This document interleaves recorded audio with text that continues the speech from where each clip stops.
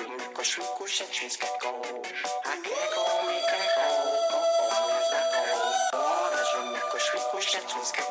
Hallo, ich bin Jasmin von Stempel doch mal.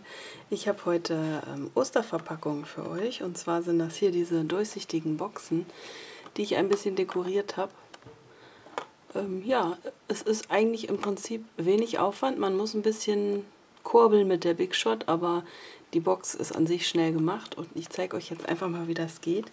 Ich finde nämlich diese Boxen total schön. Da kann man wirklich von edel bis, ähm, ja, weiß ich nicht, bunt, kindlich, alles mitmachen.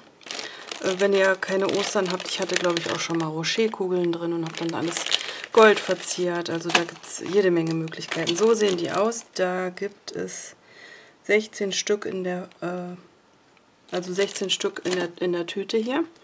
Als erstes müsst ihr die Schutzfolie abmachen. Irgendwas frisst meine Katze hier gerade. So, Schutzfolie ab. Dann knickt man das hier alles einmal so ein bisschen um, damit die halt Stabilität bekommt und damit sich das leichter falten lässt. So, dann kommt als erstes hier dieses Teil runter, dann die beiden Nupsel und dann das letzte.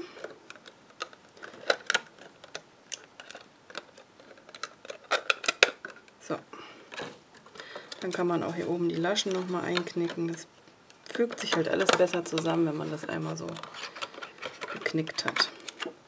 So, dann mache ich jetzt einfach Ostereier rein, Schokoladeneier. So.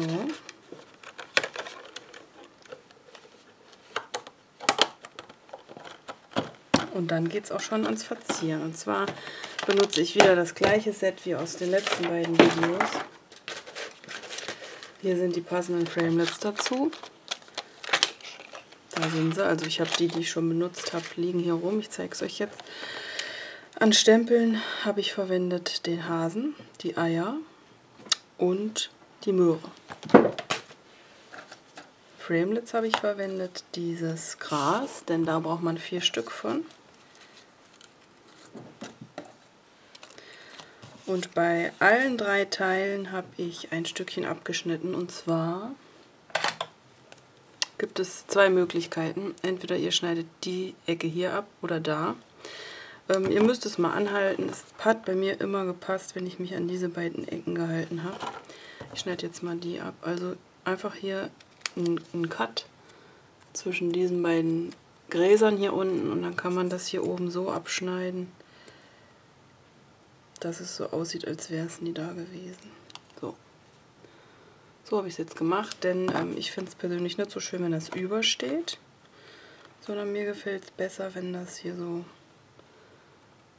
ähm, bündig anliegt und ich finde, man sieht jetzt auch nicht unbedingt, dass das abgeschnitten ist. So, das brauchen wir. Dann habe ich als Deko verwendet den Hasen. Da ist er. Den habe ich ähm, angemalt, das habe ich euch auch schon mal gezeigt. Die Schleife mit Wassermelone und ähm, das Ohr mit Kirschblüte und die Bäckchen. Und dann habe ich noch Möhren gestanzt. Die habe ich angemalt mit Kürbisgelb und Olivgrün. Und zum Schluss habe ich noch hier diese Eier verwendet. Also die müsst ihr auf jeden Fall ähm, stempeln, anmalen und dann stanzen. Denn wenn man die erst stanzt und dann stempelt, wird es sehr mühselig. Ähm, da gibt es vier Stück von.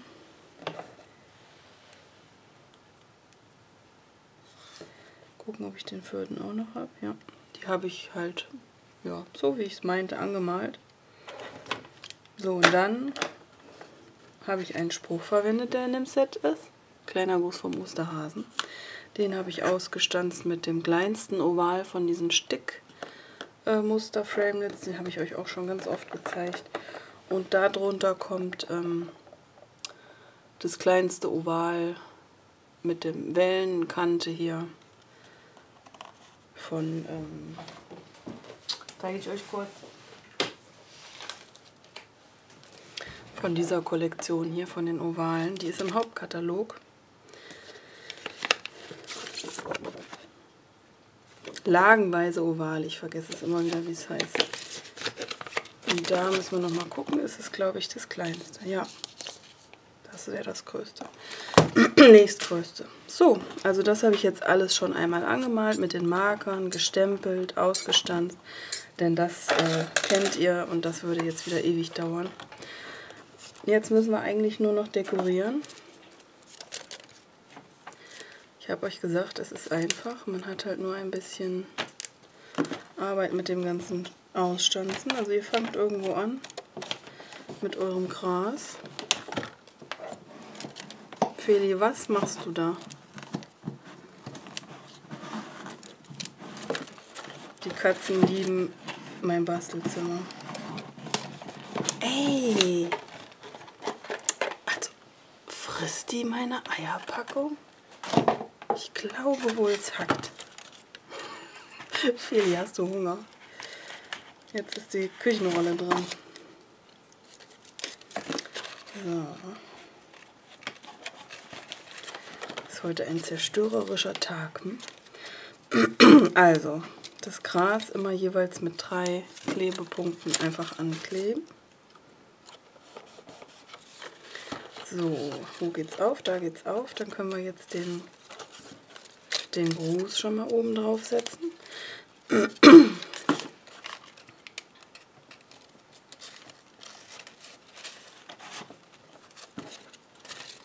Den klebe ich aber an sich mit ähm, Dimensionals fest.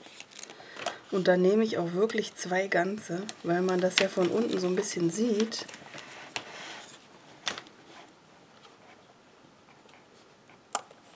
Also wenn ich jetzt hier öffne, sehe ich ja da den Kleber. Man könnte natürlich auch von innen nochmal so ein, ähm, so ein Oval hinkleben, aber das mache ich jetzt mal nicht. So, und dann habe ich hier oben drauf noch eine Möhre gemacht. Die klebe ich auch mit einem Kludert fest.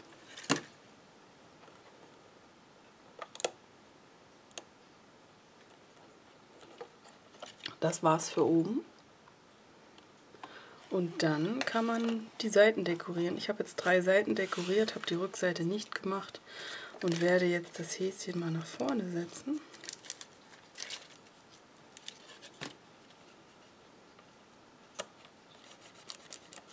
So, und dann ähm, kann man die Eier und die Möhre noch verteilen.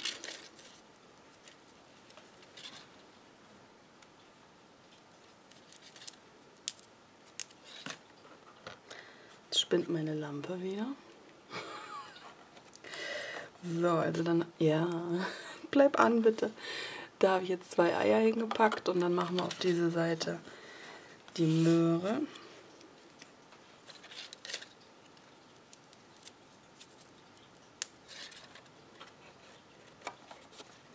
Die Möhre und ein Ei.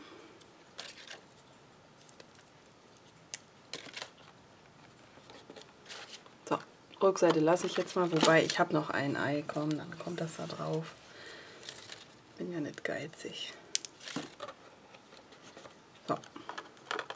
Ja, und im Nu habt ihr eine total süße Osterverpackung, die man wieder für sämtliche Dinge verwenden kann als Namensschild, als Tischdeko, als Geschenk zu Ostern.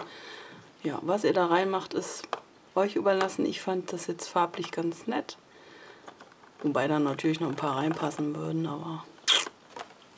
So, hier ist noch das andere.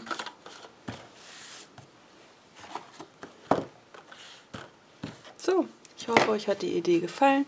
Ich wünsche euch eine schöne Woche und bis zum nächsten Mal. Tschüss.